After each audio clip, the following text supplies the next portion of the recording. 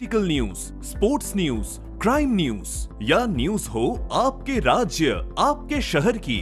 आपके आसपास हो रहा है भ्रष्टाचार।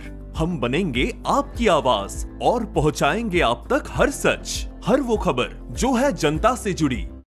खबर बेतिया के गौनाहा से जहाँ जंगल से बाघ ने किसान पर किया अटैक, घायल को लगे दस टाके। खेत में काम करने गया था। अधिकारी मामले को बता रहे संदिग्ध। बेतिया में खेत देखने गए एक किसान पर बाघ ने हमला कर दिया। किसान गंभीर रूप से घायल हो गए। घटना सहोदरा थाना क्षेत्र अंतर्गत बीटीआर जंगल से सटे बलबल गाँव के पास की है। घायल किसान को इलाज के लिए परिजनों ने गौनाहा रेफरल अस्पताल में भर्ती कराया है। उसका इलाज जारी है। इधर घटना की सूचना पर पहुँची वन विभाग की टीम मामले की जाँच में जुटी हुई है। घायल किसान की पहचान सहोदरा थाना क्षेत्र के बलबल गाँव निवासी राधा महतो के रूप में की गई है। रेंजर सुनील पा, कुमार पाठक ने बताया कि घटना की सूचना मिलते ही वन विभाग की टीम को घटनास्थल पर भेजा गया है। घायल किसान से भी बात की गई है।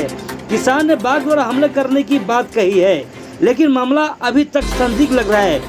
बाघ के हमला करने का कोई ट्रेस नहीं मिल पाया है लेकिन वन विभाग की टीम मौके पर मौजूद है। जाँच के बाद मामले में आगे की कार्रवाई की जाएगी।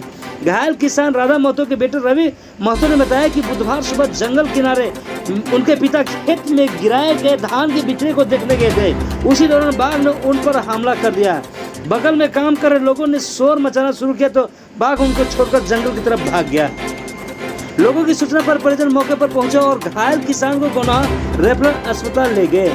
वही ड्यूटी पर तैनात डॉक्टर विवेक विकास ने बताया कि घायल व्यक्ति के पैर में दो जगह गंभीर जख्म है।